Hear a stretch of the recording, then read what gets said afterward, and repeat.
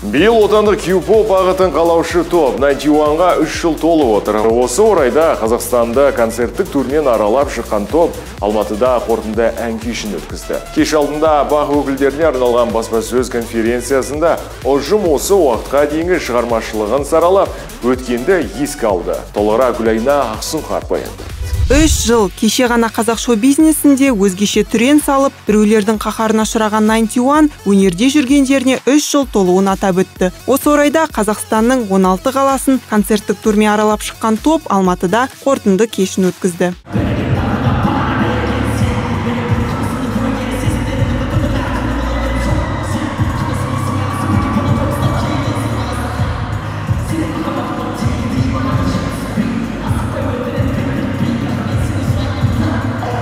Осыған дейін ащыны да тәттіні де бірге көріп жұптары ажырамай келе жатқан топ серілері біраз қызықты оқиғаларды бастан кешкені бар. Мәселен бала анасының қарсылығына қарамастан бейнебаянға түсу үшін шашын қызыл түске бояп тастаған екен. Мен айттым енді бір определенный бір уақыт бересің мүмкін дедім сол кезде екі жыл деген енді екі жылға шыдай алмадым сосын бір күні клипке түсіп тастадым да сосын сол клиптен көрген кезде енді жақсы деді.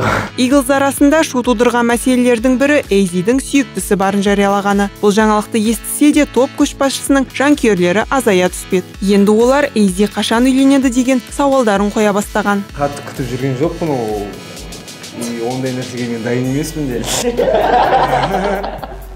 Бұл мен жай ғана осы жақында яғни өзімнің жанкүйерлеріме ашылған болатын менің қызым бар деп мен сол қызға арнадым дәл сол қызға арнадым деген емес мен жай ғана сол тақырыпқа келеді де и ол әдемі естіледі кішкене басқа қырына өзімді көрсетейін деп жазғаным ғой. А былай негізі ондай ой жоқ. Топ осы соңғы турында ешбір қалада кедергісіз өнер көрсеткен бірақ ұжымды әлі де мойындамайтындар жетерлік. Продюсер ерболат безелхан оның себебін өзінше түсіндіріп берді. Жанр деген ұғым болатын болса қазақстанда жанр деген ұғым жоқ. Сіз мысалы музыкалық премияларды қарасаңыз қазақстанда ол тек қана жанр деген ұғымға бөлінбейді себебі бізде бәрі қазақ музыка. Бір түсінік музыка түсінігі қазақстанда тым төмен. Кю поп бұның шешімі.